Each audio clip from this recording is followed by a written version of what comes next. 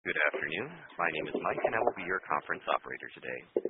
At this time, I would like to welcome everyone to the Electronic Arts Q3 2019 earnings conference call. Mr. Chris Evenden, VP of Investor Relations, you may begin your conference. Thanks, Mike. Welcome to EA's third quarter fiscal 2019 earnings call. With me on the call today are Andrew Wilson, our CEO, and Blake Jorgensen, our COO and CFO. Please note that our SEC filings and our earnings release are available at ir.ea.com. In addition, we have posted earnings slides to accompany our prepared remarks. Lastly, after the call, we will post our prepared remarks, an audio replay of this call, our financial model, and a transcript. With regard to our calendar, our Q4 fiscal 2019 earnings call is scheduled for Tuesday, May 7th, 2019. This presentation and our comments include forward-looking statements regarding future events and the future financial performance of the company. Actual events and results may differ materially from our expectations. We refer you to our most recent Form 10-Q for a discussion of risks that could cause actual results to differ materially from those discussed today. Electronic Arts makes these statements as of today, February the 5th, 2019, and disclaims any duty to update them. During this call, the financial metrics, with the exception of free cash flow, will be presented on a GAAP basis. All comparisons made in the course of this call are against the same period in the prior year, unless otherwise stated. Note that our results reflect our adoption of ASC 606 as of the beginning of fiscal 2019. For more information on this change, please see the accounting FAQ we have posted on our IR website. Now, I'll turn the call over to Andrew. Thanks, Chris. The gaming industry continued to grow through the holiday quarter in our fiscal year 2019. It's been a highly competitive year with lots of great new content for players around the world. In the face of this competition, we had significant challenges in Q3 and did not perform up to our expectations. We expect these challenges will continue to impact our performance in Q4, which has led us to lower our full fiscal year net revenue guidance today. Let me first discuss our challenges and the adjustments we are making to address them, then I'll discuss the opportunities ahead. We'll start with Battlefield V. We made some decisions on launch timing and key features of this game that we felt would improve the quality of the experience. For context, Battlefield V was designed from the beginning to offer a long-term live service.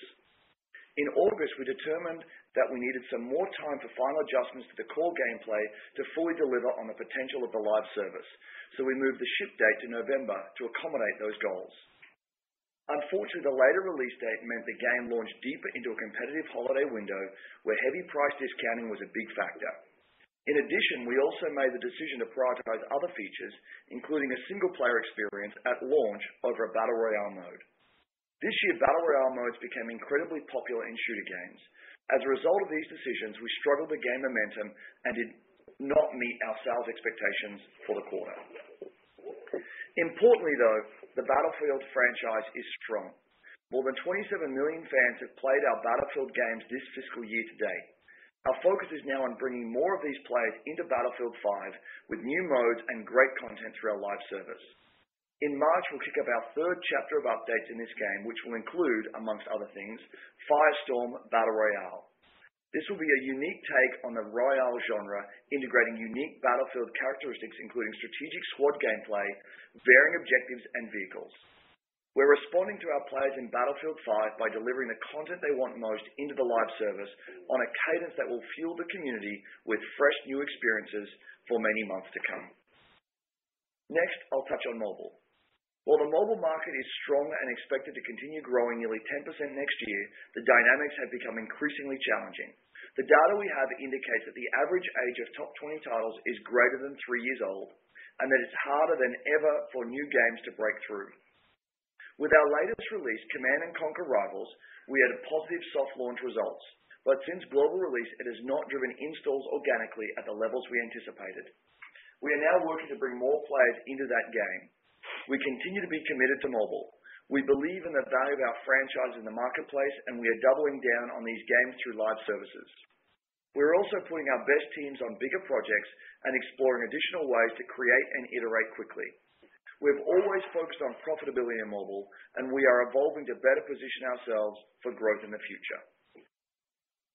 Our performance in Asia was also not as strong as expected through Q3. In Korea, FIFA Online 4 is performing well, with monthly average players exceeding the trajectory of FIFA Online 3 in a similar period from launch. Given nuances in the Chinese market, our transition to FIFA Online 4 has been slower than anticipated, and FIFA Mobile is still in the early stages after launching in the market. We have long-term strategies with robust content plans for both games that, combined with the popularity and growth of soccer in the region, we believe will fuel further growth. FIFA continues to be a growing business for us. In fact, we sold more units of FIFA last calendar year than any year before, and we welcomed 4 million new players into our FIFA ecosystem on console and PC. Our plans for FIFA 18 were aggressive in a World Cup year, and we ended up selling an additional 2.4 million units of FIFA 18 throughout the year, with the intention of converting those players to FIFA 19 when it launched. The conversion has been slower than planned, leading to unit sales that were effectively flat year-over-year. In a year where there was intense competition and many iterative titles were challenged, FIFA 19 still became the best-selling console game in Europe last calendar year. Even on flat year-over-year install base, FIFA Ultimate Team has performed well, and it accelerated in January with our most successful Team of the Year event ever. Our competitive gaming programs are also adding strength to the franchise, with our expanded FIFA Global Series already garnering 80% more total minutes watched compared to last fiscal year, along with new sponsor engagements and partnerships with industry leaders such as ELEAGUE, Gfinity, and PGL. We continue to be very positive on the strength of FIFA and FIFA Ultimate Team around the world. We made some calculated decisions that did not work as planned in Q3, and we did not execute well in other areas of our business. Against the backdrop of a very competitive quarter, the combination of those factors led to our underperformance. While we are disappointed with the results, we understand where our challenges are, and we are deeply focused on applying the strength of our company to address them going forward. We are a learning organization. Over the last six months, we've made organizational changes to shape our teams against our priorities for the future. We've made operational changes to better position ourselves to effectively drive live services and serve our player communities. We've made creative changes, including the formation of a creative council to strengthen our creative decision-making. And we will continue to make refinements in each of these dimensions as we focus sharply on execution across the company. The future of the industry is strong, and so is the future of Electronic Arts. As you saw yesterday, we just launched Apex Legends, a new free-to-play battle royale game from Respawn. This is very exciting for us. Built from the ground up to bring innovation to the genre, there are so many unique elements of Apex Legends, from the characters to the gameplay mechanics to the team play construct. To compete in the highly competitive battle royale space, we also deliberately chose a different go-to-market strategy to surprise and delight players around the world. The launch yesterday was EA's biggest reveal ever by peak concurrent viewers, and it quickly became the number one game on Twitch. The Respawn team has a strong plan for Apex Legends that will engage fans for a long time to come. And as the live service evolves, Respawn also plans to launch a premium game this year that is a new twist on the Titanfall universe. More to come on that in the months ahead. Also this month, we will launch Anthem, BioWare's epic new game. Our teams at BioWare have poured so much passion into crafting every aspect of this massive new IP. Millions of fans played more than 40 million hours of Anthem in our recent demos, and we're very pleased to see the excitement in retail and digital channels reaching higher than expected levels. Anthem has been on dozens of lists for the most anticipated games of 2019, and the full game launches on February 22. Looking ahead to FY 2020, we have a large slate of new games, beginning with some big new additions in our next FIFA title. There was great energy and excitement from NFL fans throughout this past season, and we're excited for our plans with the Madden NFL franchise. We will continue innovating and driving our NHL and NBA live games deeper into the fabric of their respective sports. We'll have a new game for our Need for Speed fans and a new title in our PvZ shooter franchise on console and PC. In addition to Apex Legends, another team at Respawn is set to deliver Star Wars Jedi: Fallen Order this fall. This game's development is led by the former director of the God of War series, with a team of veterans from some of the industry's biggest action-adventure games. It's very far along in development, and having spent time with it recently myself, it plays spectacularly well. This game truly captures the fantasy of becoming a Jedi, and we will have a lot more to share soon. In FY 2020, we're also set to deliver more content and new experiences in more live services than ever before. We're excited to continue building on the success of our Ultimate Team modes for EA Sports. Our Sims franchise continues to thrive in live services. Our Sims 4 community grew by 4.8 million unique players last year. Our monthly active players continue to grow year-over-year, and we just crossed $1 billion in lifetime revenue for the game. We continue to have strong expectations for The Sims going forward, and FY 2020, we're bringing at least 20 new content drops and expansion packs to our Sims games across PC, mobile, and console. We'll continue to support Battlefield V and Anthem throughout the year, and Apex Legends will bring seasons of new content and much more to its players. With the breadth and depth of our live service offerings, we are focusing on delivering more of the content that resonates with our communities to drive additional upside opportunities in FY 2020. This is a challenging second half of our FY 2019. We are making critical adjustments to sharpen our focus on execution and to assure we are well-positioned to deliver more great games and services to our players. Now, I'll hand the call over to Blake. Thanks, Andrew. When we guided the year last May, we had high expectations for Battlefield V. We expected to grow our existing mobile titles and had anticipated launching two new mobile games. As Andrew outlined, it didn't play out as we planned. We decided to move Battlefield V into a difficult launch window against heavily discounted competition. And on mobile, we moved one of our titles out of the year. Of Rivals is also ramping slowly, and we made changes to Madden Mobile that reduced monetization. On top of this, unprecedented competition for players' time impacted the growth of our titles. However, the performance of FIFA and FIFA Ultimate Team was a bright spot, with the franchise proving extremely resilient in the face of intense competition. In addition, we set a new third-quarter record for operating cash flow over the last 12 months. I've decided to give additional details this quarter about which parts of our business are and are not performing up to our expectations. I'll report our results on a GAAP basis, then use our operational measure of net bookings to discuss the dynamics of the business. To compare this quarter's results to historically reported non-GAAP measures, please refer to the relevant tabs in our downloadable financial model. EA's net revenue was $1.289 billion, below our guidance by $86 million. Operating expenses were $634 million, $96 million lower than our guidance, driven by variable compensation and related expenses and some phasing of marketing expenses. GAAP operating income was 242 million and resulted in an earnings per share of $0.86, $0.25 better than our guidance. Operating cash flow for the quarter was $954 million, up 105 million from last year.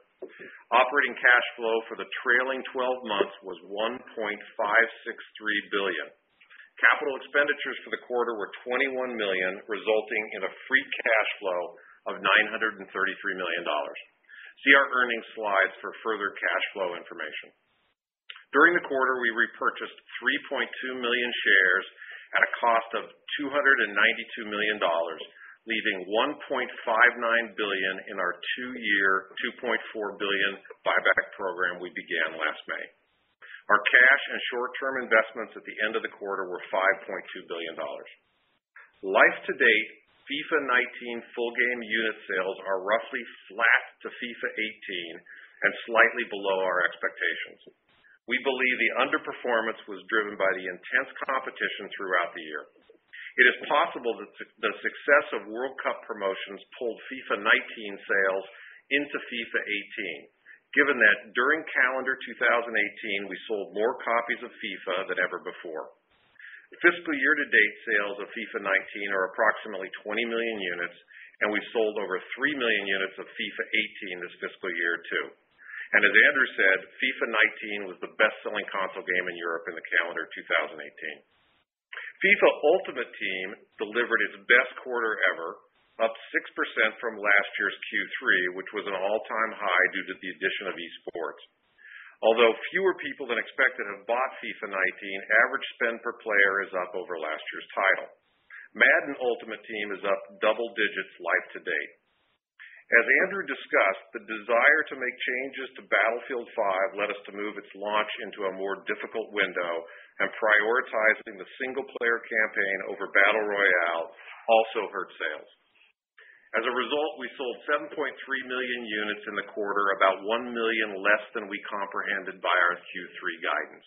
However, people play Battlefield for a long time, and we're in this for the long haul.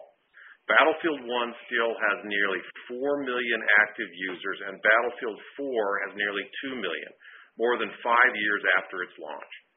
When we released the Season 2 content in January, Battlefield 5 became the largest Battlefield game ever, and we have an exciting live services plan ahead for us with the launch of Firestorm Battle Royale game mode in March and continuing through fiscal 2020.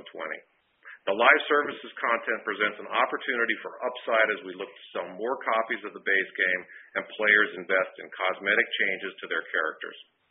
Battlefield V drove fewer Origin Access Premier subscriptions than we had hoped, given the difficult launch of the game. We remain committed to subscriptions, and we look forward to attracting further subscribers with the launch of Anthem. We are using the launches this year to help us drive the evolution of the service. We entered the year expecting strong mobile growth, but a combination of a delayed game and underperformance means the business will end the year down. The mobile market is characterized by a small number of highly successful games, together with a long tail of much smaller games, many of which merely break even or actually lose money. Our focus has been and continues to be on building profitable franchises. Our business continues to be profitable, but growth is unpredictable in such a market. We continually review how we might improve the performance of this business. We launched Apex Legends, a battle royale experience in the Titanfall universe yesterday. It's free to play, but in a day, one day is still way too early to talk about the power of the business model. The Respawn team has executed well to deliver an innovative take on the battle royale genre. They've enthusiastically driven the creation of one of the few large-scale free-to-play experiences on console, and we have a great live service to come. Digital net bookings were $1.199 billion, down 3% on the year-ago period. Strong digital sales of Battlefield V compared to Star Wars Battlefront II, which were more than offset by the decline in our mobile business and the extra game launch in last year's third quarter. Digital net bookings now represent 74% of our business on a trailing 12-month basis, a new record. This compares to 67% in the prior year. Live services net bookings were down 0.4% to $784 million. FIFA Ultimate Team grew but did not offset the decline in Battlefield 1 live services and FIFA Online in Asia. Mobile delivered net bookings of $142 million, down 22% year-on-year, with declines across our portfolio. We had made some changes to Madden Mobile in order to broaden its appeal, but monetization failed. So we continue to work to turn this around. Full game PC and console downloads generated net bookings of $273 million, 5% higher than last year. Growth was driven by the ongoing shift to digital, in particular for FIFA 19, for which sell-through is 27% digital life to date, compared to 21% for FIFA 18 last year. Overall, 47% of our units sold were through digital rather than physical, measured on Xbox One and PlayStation 4 over the last 12 months. This compares to just 37% a year ago.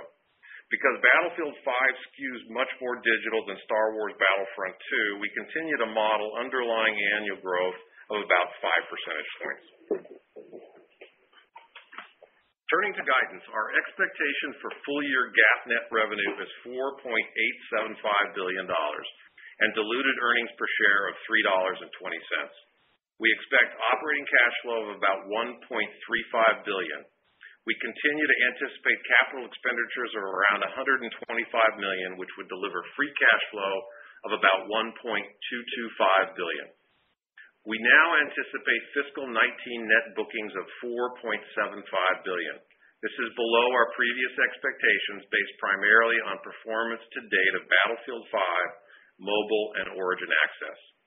We model Anthem units in the 5 million-6 million unit range and do not model material net bookings for Apex Legends in the quarter. For the fourth quarter, we expect net revenues of 1.163 billion, cost of revenue to be 265 million, and operating expenses of 715 million. OpEx is up year-on-year, primarily due to the launches of two major titles as opposed to one last year, and increased investment in R&D. This results in diluted earnings per share of $0.56 for the fourth quarter, using the diluted share count of 303 million. We anticipate net bookings for the quarter to be $1.17 billion. This is slightly down year-on-year, with Anthem offset by broad-based weaknesses. Our experience this quarter have reset our expectations for growth this year and next, and that means we must make some hard choices about investments. Nevertheless, this quarter has shown that we will continue to be a business with great brands that enable us to generate strong cash flow for investors. In fiscal 2020, we will continue to innovate in our sports titles, with growth for them expected to be in the range of flat to up 5%. In particular, FIFA 20 will include some significant new features, and we plan for both FIFA and FIFA Ultimate Team to grow over the year. We will drive the Titanfall universe forward with Apex Legends live service and a premium game later in the year. We will launch Star Wars Jedi: Fallen Order, a new Plants vs. Zombies shooter, and a new Need for Speed. We have modest expectations for Battlefield and Anthem live services, given that they are not yet proven. We continue to refine mobile live services and work on new games. Overall, we expect net bookings to grow low single digits and the underlying profitability to grow in line with that as well. We will provide further details and a P&L forecast when we report in May. To sum it up, FIFA stands out as a robust franchise through a tumultuous year in the video game industry. We are making changes to improve execution, and we're refocusing R&D investments to projects with near to medium-term returns without impacting our long-term vision. Meanwhile, we're looking forward to giving Star Wars fans the opportunity to live the life of a Jedi in Star Wars Jedi: Fallen Order, to continue to innovate our ever-popular PvZ brand, and to deliver another action-packed installment of Need for Speed. And now I'll hand the call back to Andrew to offer some final thoughts. Thanks, Blake. The gaming industry is strong, and it continues to grow. New genres have emerged and become massively popular.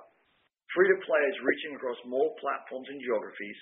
Subscriptions and cloud gaming are strong future growth opportunities. And above all else, great content continues to be the lifeblood of our industry.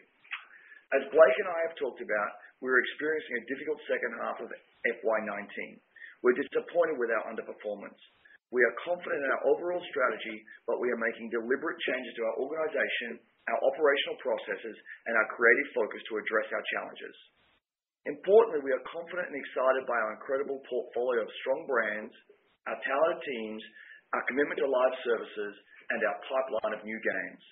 We have a slate of EA Sports titles that have performed well, even in light of increased competition this year. FIFA, in particular, continues to demonstrate its leadership as a top title in the industry, and it is a and it is growing as a business.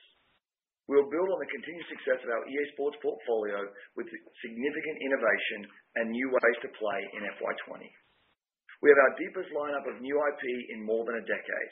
We're very excited about the opportunities we have with Apex Legends, Anthem, and Star Wars Jedi: Fallen Order in the year ahead.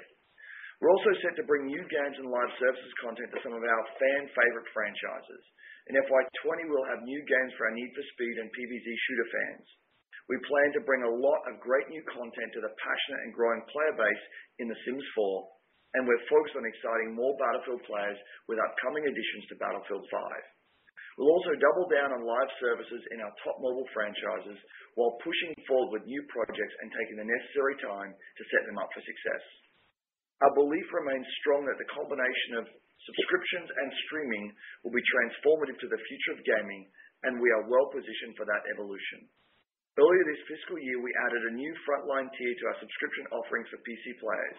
And in the year ahead, we plan to offer a subscription service on another major platform. We have a lot of great content coming in FY 2020, and we're excited for more players to experience it through our subscription programs across more platforms. Our industry is growing, and we know expectations for EA are high. As we take action to address our challenges, our underlying business is strong, our pipeline is robust, our teams have amazing talent, and we're confident for the future. With that, Blake and I will take your questions.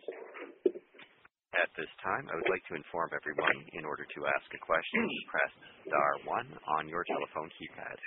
To withdraw your question, press the pound key. We will pause for a moment to compile the Q&A roster. Your first question comes from Mike Ng from Goldman Sachs. Great. Thank you for the question. I have two, just one for Blake and one for Andrew. Um, Blake, you mentioned that given the more tempered view on growth for next year, uh, EA is making some hard choices about investments that you're making. Um, you discussed some of the things that you're focused on, but I was just wondering if you could uh, give us a little bit more color on areas of the business that you may be pulling back on.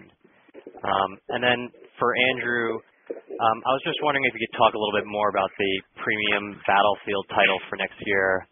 Um, it seems that in fiscal 2020, Respawn will now be operating or launching uh, three titles between that one, Apex, and Star Wars. Um, could you just talk about uh, Respawn's capacity for that? Thank you. So on the investment side, um, our view is uh, we need to constantly be looking at the performance of all of our different lines of business, and where those lines aren't performing as well as we want, we are focused on making some changes.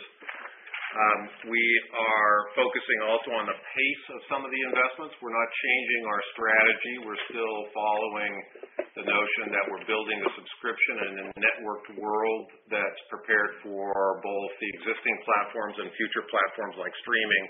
It's just a question of the pace. We want to make sure that we're very focused on the most important thing, which is great content. And without great content, uh delivery models like subscription or platforms like streaming don't mean very much. So I think think about our approach as trying to double down on making sure we're building and delivering great content and great live services experiences across console, PC, and mobile. Uh, on the second point, um, you mentioned Battlefield. I think it was Titanfall um, that you're referencing. Um, we have continued to invest uh, in Respawn and with Respawn since the acquisition. They now have two fully staffed teams, one focused on the shooter genre and one focused on action-adventure. They also have the benefit of a lot of EA's scale and central resources. Uh, groups like our uh, EA Digital Platform, um, our content development services, which is kind of content and Q&A, security, publishing, et cetera. Um, and while I don't have more to share on the particulars um, of what was coming for Titanfall, uh, what I would say is Respawn are a tremendously creative team.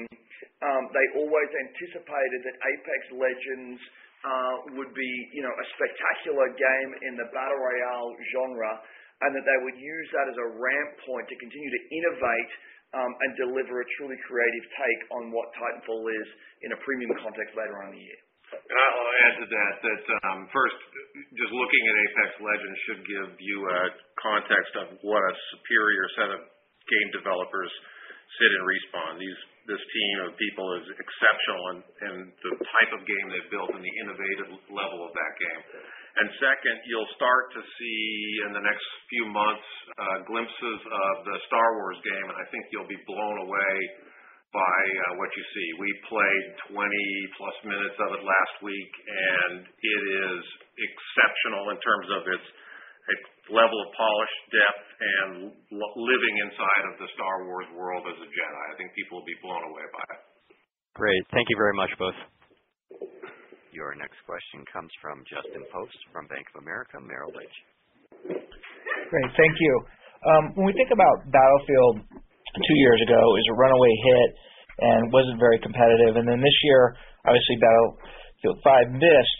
Just can you talk about a little bit um you know how much you attribute to really the competitive dynamics versus game execution, and how can EA improve execution on its on its titles going forward so that um, you don't have have misses like the last two years? Thank you. Um, I think it's a really good question. Um, and I think that there is certainly um, an element of the market and the competitive nature of the market that amplified or magnified uh, some of the challenges we've had. Um, If I think about Battlefield 5 more holistically, I think we did not do a great job of building momentum early Uh, in the project. And I think th I think about this not just in the context of development, um, but I think about this in the context of our broader execution against the entire campaign. Our launch didn't resonate as strongly as we would have liked it to uh, with players, and we were never truly able to catch up. And as our competitors continued uh, to build momentum, whether that was Fortnite or Red Dead Redemption 2 or Call of Duty, um, we continued to kind of stall from where we needed to be. Um I think you combine that with a move of the title. Again, I think that we made the right decision to move the title in service of the quality of the game. And on balance, uh those that bought into the game really enjoyed it, and the game was better for that move. But the combination of a poor start in our marketing campaign, Um, together with uh, what I think was a longer development cycle that put us into a more competitive window, and the amplification of that competitive window against some of those uh, underperformance factors, is how we resulted in Battlefield. Um, what I can tell you is we've gone back and we've just completed uh, our global publishing and marketing meeting for the year ahead just last week. Um and part of what we have done there is having far more real conversations early on. Um, getting to the center of not just uh, the production cycle of a game, but what is the creative center and how will we bring that game to market. Uh, and you should expect that we will be more innovative and more creative um, around both our uh, marketing campaigns and how we bring games to market, and more diligent in our operation against execution of the project plans around development of video games on a go-forward basis. It's something we're taking very seriously across the full um the full landscape of development. Thank you. Your next question comes from Eric Handler from MKM Partners. Thank you very much. And just to follow up to Justin's, I think you brought up some good points. How big of an issue do you see with marketing, and do significant changes need to be made here as as you think about particularly marketing in the holiday quarter? We saw you had issues several years back with Titanfall 2, despite the fact that it was a good game uh, from a ratings perspective. You had decent ratings for Battlefield 5, and Maybe you could talk about what needs to change uh, with marketing, or is it just date selection? How are things going to evolve there? And then as a follow-up, maybe you could talk about your mobile strategy in the past has been more of choosing to go for singles and doubles. And in this environment, can singles and doubles still work, or do you have to go for the big home runs there? Okay. There's a, there's a lot in there. Um, Let me start uh, with marketing. Um, I think what you have seen from us is some tremendous marketing across our portfolio. Um, it is how FIFA was able to rise in the way it did through the year. Um, it's how our sports franchises, even in the face of stiff competition, still performed well. What what I think when we go back and analyze what happened with Battlefield V and Titanfall 2, I think we failed to come to a true creative center of a campaign that was compelling for players. And uh and we spent and we spent too long getting to that point. And by the time we got to launch, when we didn't have that creative center for the campaign, um, we had lost ground against our competitors. Um, our our holiday quarter will always be competitive. Uh, in the past, we have competed very well. Um, what we have seen this year is that we had some big misses early on, and they um, gained uh you know momentum in terms of the impact they had to our business over time. Um, as I just talked about with Justin's question, what we have done is gone back and built a far more robust process around how we find our creative center. It's called The Reason to Play. Uh, and Chris Bruzzo, our CMO, and his entire organization have restructured the entire marketing conversation from the inception of game development through through full campaign. And we expect that that will put us in a significantly better position on a go-forward basis. Um, in the context of mobile, um, again, I think what you heard from us in the prepared remarks is is mobile is a tremendously um, powerful marketplace. It's a growing marketplace, but we are seeing that it's getting harder and harder to break into that market. Um, what we're what we're seeing is that many, many thousands of games are launching, and that uh, only a few are finding success. And even great games are failing to break through. Um, what we're also seeing, however, is that um, two things are becoming true. One is that additional focus on existing live titles can deliver tremendous uh, profitability over time, and you should expect that we will do that. We're also seeing that patience is important. Some of our competitors are having their games in the market for 12 months or 18 months and building and adjusting uh, to drive growth in that space, and you should expect that from us also. But what you did hear from us is that we'll be focusing our best teams on the big opportunities, because in order to break through, gamers expect not just a really big brand, not just innovation in gameplay, but they expect a really big gameplay proposition. And part of what we'll be doing on a go-forward basis is focusing on some of those much bigger opportunities. Yeah. I'd just uh, remind people that sports, like it is in our core uh, console and PC business, is a critical component of long-term success in mobile. I think uh, life to date, we've generated over a $1 billion in the sports business, and the beauty is that business is evergreen. It restarts every year, and we're trying to continue to grow that with FIFA, with Madden, with NBA around the globe. And uh, that's the focus that we're going to continue to step into. And trust, we don't step up thinking we're going to hit a single or a double. We're always focused on trying to hit home runs, and we'll continue to do that. Thank you, guys. Your next question comes from Andrew Uerkwitz from Oppenheimer. Hey, thanks, gentlemen. Um, Can you talk about how cross-play, cross-progress fits into the strategy uh, across the portfolio? And then in particular, uh, do you see it limiting either Apex or Anthem's potential? And then secondly, Andrew talked a lot about um you know increased competition. One way to kind of solve increased competition is M&A. Um, so could you talk about uh, any updated thoughts on M&A? Thank you. Again, we think that cross-play and cross-progress is going to be a very important part of our future. Um, and you should um, anticipate that we'll be doing more in that space.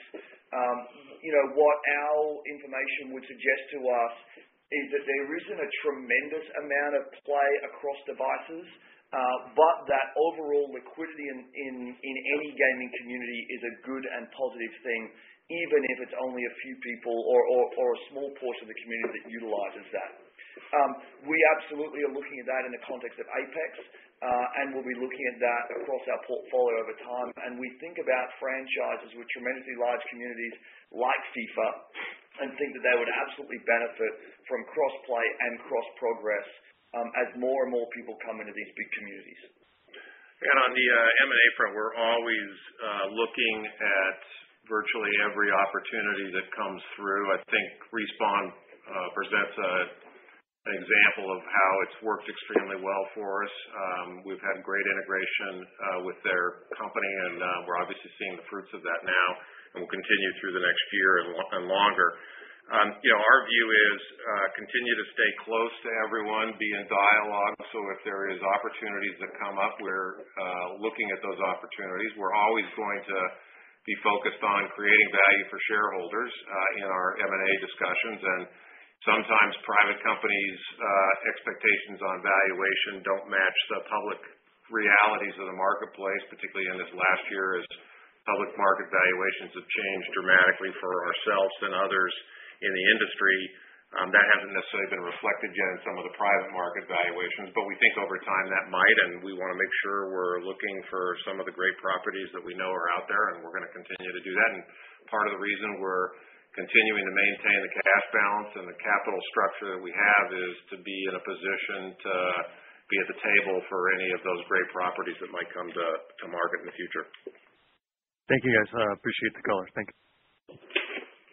Your next question comes from Stephen Ju from Credit Suisse. Okay, thanks. So I guess, Andrew, uh, bigger picture. Uh, Google is working on a streaming platform. Amazon also seems to be doing the same. I would presume Apple probably has ambitions here as well. So seems like you as a content producer will have a lot more distribution outlets and optionalities. You know, from who will be wanting your content on their platform. Can you give us some perspective on how your distribution costs, or I guess the platform royalties may change over time and how quickly that may change?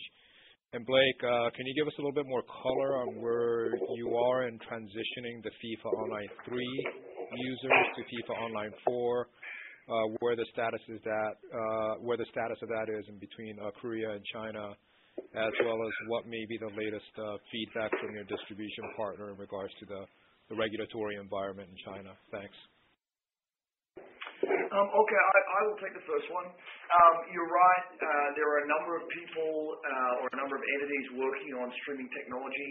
Um, we believe that is a good thing uh, You know, to the extent that it will you know massively increase the total addressable market of gamers and get to a point where you know 2.5 or 3 billion gamers that currently play on mobile devices can play on almost every device they own. We think that is a great thing. Um, we also have technology that we have been developing internally uh, that we think will uh, actually be able to accelerate that for our partners uh, and accelerate our ability to reach more customers through through cloud services and cloud gaming. Um, in terms of kind of platform royalties, I think it's too early to tell. And what we're seeing right now with some of the some of the players in the marketplace is it seems to be Uh, a competition for who can charge content creators less money to distribute their content. Um, I don't know where that nets out. I think that will be good for us over time. Um, I also think uh, that increased total addressable market, a potential for more lucrative platform for a more lucrative platform royalty structure, combined with our ability to offer a robust subscription offering to many, many uh, hundreds of millions or even billions of players over time, Uh, represents a very very big and strong opportunity for our future. And on uh, Online 3 to Online 4, um, I think Korea is, as Andrew mentioned, um, moving people faster from 3 into 4 and starting to grow 4. Uh, China, we're being more cautious along with our partner, Tencent. Uh, but some of the regulatory hurdles are starting to get cleared across the industry, which I think will help us speed up that transition from 3 into 4. Um, I was hoping that it would be fully transitioned by the end of this quarter, and clearly it's not. We think it's going to probably continue at least through next quarter and maybe into early next year. But we do view that the long-term play there is a positive one, particularly with the growth of soccer in that marketplace. Okay. So Blake, just as a clarification, when you talk about next year, clarification, it's your fiscal year, not calendar. Yeah, fiscal year. Yes, exactly. So yeah. So we'll give you a more update when we uh, talk next quarter, but my hope is it's not a headwind for us next year and actually becomes a tailwind for us. Understood. Thank you. Fiscal year. Thanks. Yeah. Your next question comes from Jeff Cohen from Stephens. Hey, guys. Thanks for taking my question. Could you talk a little bit uh, about what kind of operating margins we could see on the revenue that you expect from Apex Legends versus the revenue that you get from a normal upfront game sale? I would think it should be higher given that it's it's all digital. Um and then if you guys could give us some guidance in terms of maybe how to think about sizing the potential for that game, that would be great as well. Yeah, I mean both of those are pretty hard after one day, um, only because we don't have a lot of um, areas to look to to actually peg it. It's a different business than, say, our largest live services, Ultimate Team. Ultimate Team, you have people who are predisposed to spend because they bought the base game coming in, and so the payer ratios, I think as we've talked about, are you know much higher than what you would see in a pure pre-to free-to-play game like a mobile game where they're in you know single digits. Um, our hope is obviously we have high engagement and high number of users, and the combination of those two things should drive what we believe is very profitable revenue. You are correct, having uh, all digital, um, and you know having that come through either directly our Origin platform where there's no platform fees or through third-party platforms will help depend on what the ultimate profitability is. But I think overall it should be very strong. It's just hard for us to size that market. Um, more to come on that over the next couple of months as we get closer to uh, doing guidance for next year. As I said, we put very little revenue into this quarter for it because we just didn't know. But by the time we give guidance in May, we'll have a much better sense of what we think that will be based on the number of users coming in and then those users that are spending across the live services that we'll continue to roll out. Thanks, Blake. Sorry. While it is early, um, what I can say is that in the first 24 hours, we've had over 2.5 million uh, unique users, uh, trending fast towards 3 million unique users, and and nearly 600,000 peak concurrent users kind of in the middle of a Tuesday.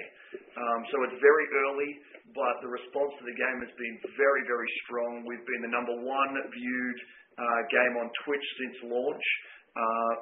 Player sentiment seems to be very very high right now. Thanks, guys. Yeah, the game definitely seems to be off to a strong start. Will that revenue run through the live services line in the model? Most likely, yeah. Okay. So um so yeah, you probably see obviously some growth there next year if it's if it's additive and successful, which we think it will be. I think as Andrew was saying, we're very excited about it. It's it's just so early, we don't want to put too much into the model yet, and it's really not built. Uh, when I gave that guidance earlier on you know, low single digit um, or mid to low single digits for the total business, that doesn't really anticipate a huge number for a live service business yet. Thanks. Your next question comes from Ben Schachter from Macquarie. Hey, Blake. I was wondering if you could just talk about the use of cash a bit more. You talked about M&A, but given where the stock is, should we think you'd be more active in buybacks? And then Andrew, maybe you could talk a bit about China. Uh, is FIFA really the only opportunity for you guys there, or should there be anything else? And just any broad comments on Fortnite and how that's impacted you guys and the industry this holiday. Thanks. Yeah. I'll start, Ben, on the buybacks. I mean, we're um, three quarters of the way through the first year of our $2.4 billion program, which is a double of the last program. We doubled our pace of buybacks, and we're tracking to that. Um, we will, as we have done, I think consistently over the last um, few years, review the buyback with our board at the end of our fiscal year and determine if we should continue on the existing buyback or if we should increase it. And that'll be based on what our outlook is for the future as well as um, the cash flow generation. We spend less time focused on what the current stock price is. We want to be in the market every single day, which we are, and track to the buyback that we've made the commitment to to the street. And we'll look at reviewing that each quarter um as uh or each year as we uh near the end of the fiscal year. So more to come when we give guidance again. Uh, and on China, um, I think as everyone would acknowledge, China is a very particular marketplace. Uh, we certainly uh, see robust growth opportunities for FIFA. Um, but we also know you know, we did a small partnership deal around a Command & Conquer mobile game recently that is performing very, very well in China. Um, we know that the Plants vs. Zombies brand is very strong in China, as is the Need for Speed brand. Um, as that market continues to evolve and mature, we're seeing that um, brands like FIFA, brands like Need for Speed, Plants vs. Zombies, Command & Conquer, um, and potentially The Sims may have tremendous appeal there and are working through plans on how we execute against that over time. Your next question comes from Drew Crum from Stifel. Okay, thanks. Good afternoon, everyone. Can you talk about your expectations for live services going forward? Uh, was fiscal 3Q the bottom, and would you expect to see improvement in the out quarters? And if so, what are some of the drivers for improvement? And I guess separately on Anthem, um, you were pretty upbeat coming out of the last earnings report. Uh, being three weeks away from the launch, having gone through the beta testing, um, have your expectations for the launch changed in any way? And if so, how and why? Thanks. On live services, you know, uh remember it's a collection of items. As we mentioned, FIFA Ultimate Team was had its largest quarter um in history in Q3. Madden's continued to grow strong.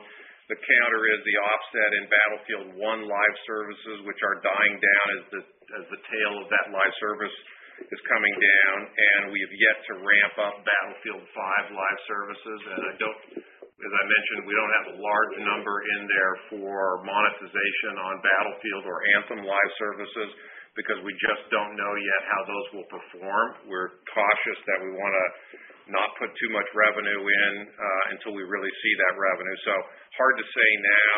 Our goal mm-hmm. is to continue to grow live services, obviously, and we think Ultimate Team still has um, a lot of room to grow, and some of the things that we're doing with both FIFA and Madden for next year should help continue to drive Ultimate Team growth in those two products.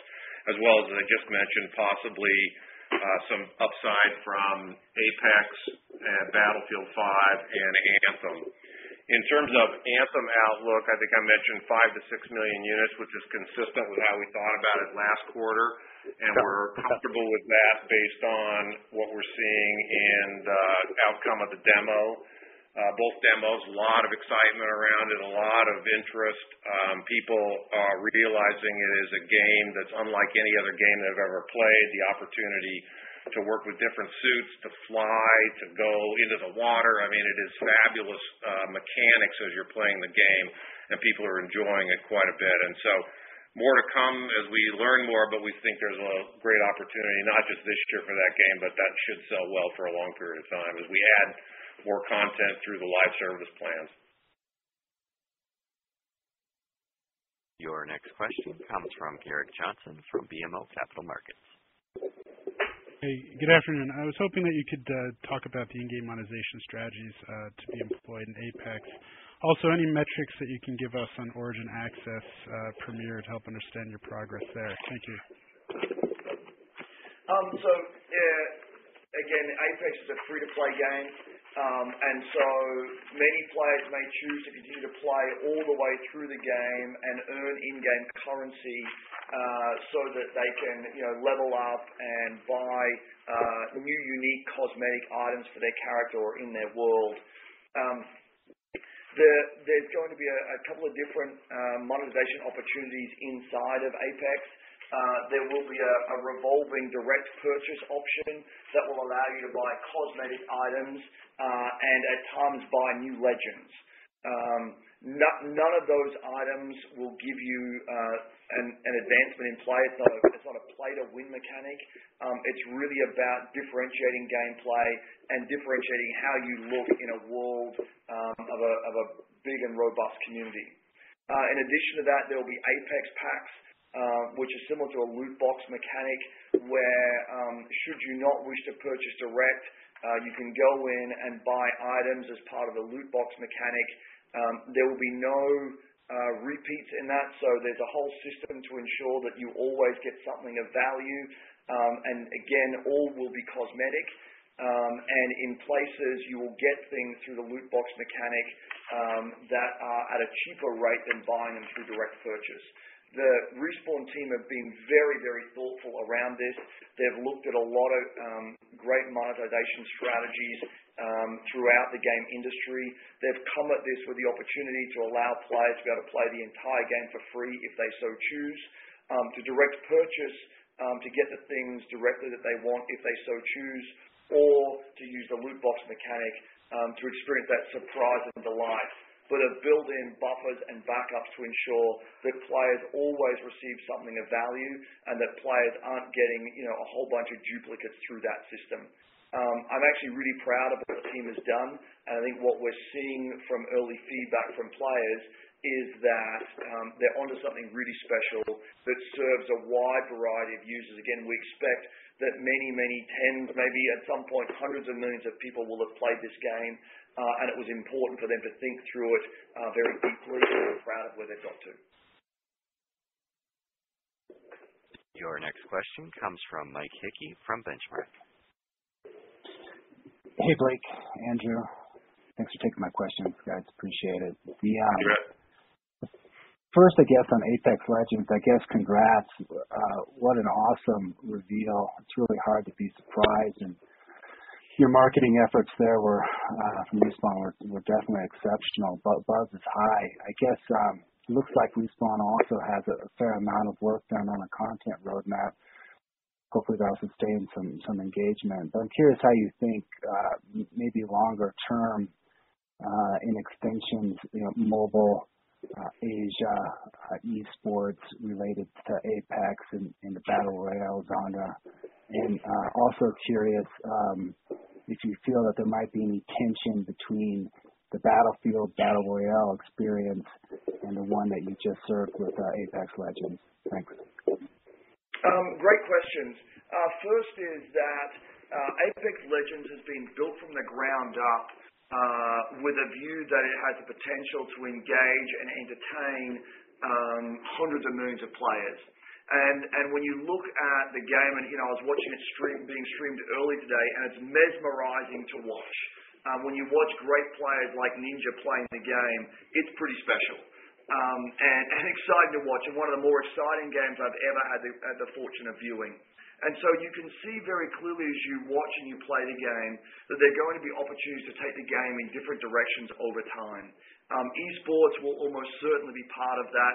Um, Additional game modes, the impact of additional legends over time, uh, great new content will have will have an impact. As I said earlier, uh, we are looking at how to take you know take the game to mobile and cross-play over time. I also expect that this game will have tremendous value uh in Asia, and we're in conversations about that. Um some of those conversations, as you uh might guess, uh are new. Um we took a very deliberate strategy around how to launch this game. Again, um in a world where we have not executed as well on some things through the past six months as I would have liked, I think that you know the development and marketing teams executed against this extraordinarily well and surprised a global industry. Um, you know, the development team was very cautious about building a completely different game and wanted to make sure by the time they launched this game into the marketplace, it would surprise and delight players, and be able to play it from day one. Um, our marketing team were also very conscious that when you start talking about the innovative nature of this game, the co-op play, the squad play, the in-game mechanics, the communication system, all the things that Respawn has done, that we wanted to be very careful not to tip our hat uh, or show our hand to the competition. Uh, and we wanted to be able to come out with a truly innovative and creative game. And we also knew that to break into what is a very competitive marketplace, we had to do something truly innovative with a launch. I think the teams have done a tremendous job there, and and you should expect that we have very big and robust plans for this game, and that it will branch in a lot of different directions over time. Yeah. As Vince uh, mentioned today in a tweet that they are planning on a premium product, we mentioned that today as well, later in in our fiscal 2020, Uh, that um, continues to evolve the Titanfall universe. And I think there's a lot of exciting things on the roadmap that you'll learn more about in the coming months. Um and to the second part of your question around uh, Battlefield Firestorm. Um, we actually think these, while they sit inside the battle royale kind of genre, are two very different types of experiences. Uh, what we have seen is Uh, the community who want to play these types of games is hundreds of millions of people strong. Uh, we think there is an opportunity to deliver the fast-paced play that is Apex Legends and where that game goes um, to a big part of the community. And that also the strategic play, the vehicle play, the things that are unique to a Battlefield battle royale mode uh, will offer differentiation of play um, for a different part of that community. And at some level, there may also be some crossover. But given the size of the community, given the very uh, different types of gameplay, even inside the battle royale genre, we believe those two modes can fit very well together in the community. Great. Thanks, guys. Appreciate it. Uh, one more question. Your last question comes from Tim O'Shea from Jefferies. Um, yeah. So thanks for squeezing me in. Um, I'd just love to hear your thoughts on the pros and cons of free-to-play, um, and how full-price games can perform in an environment where AAA content is given away for free. You obviously mentioned the intense competition. And looking at the fiscal 2019 outlook packaged goods, which seems like a decent proxy for full price, it does imply a sharp step down here. And just maybe a follow-up, but what do you think is the right mix of business models going forward? We've heard you articulate your vision around streaming, games being streamed from the cloud. We've heard you articulate a vision around subscriptions, and now you surprise us with this um, big free-to-play game. Um, thank you for the questions. Yeah. I think, remember, uh, the packaged good decline is really just that digital shift and the shift towards more and more parts of our business having live services.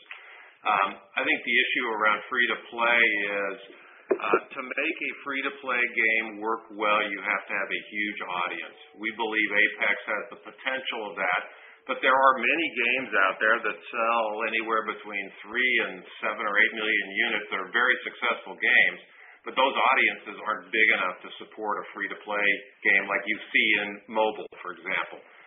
Typical mobile games, we see 80, 90 million downloads of a client. That's how you make a mobile game work and a free-to-play economics work. We always believe there's going to be multiple models. There has been for many years. Asia's been primarily free to play, but big games and big marketplaces. But if you look at some of the more successful action-oriented games of this past year, like God of War or Spider-Man, those are games that most likely aren't free-to-play style games because they're not big enough to sustain those types of economics. And we think people will want to consume games in different ways, some through purchase, some through subscription, some through streaming purchase or streaming subscription, and some through free-to-play models across many different platforms. So we think it's a great way to continue to grow the industry. We think Fortnite's helped grow the industry and other free-to-play games, and this is an opportunity for us to try to participate in it. Thanks, Blake. And uh, also. Go ahead, Sid. Uh, I was just going to say thank you for the uh, additional disclosure too um, this quarter. Okay, good. Thanks. Um, and I hope we get a chance to talk to everybody in the coming days, and I appreciate everybody's time today. We'll talk soon. Thank you. Thank you. This concludes today's conference call. You may now disconnect.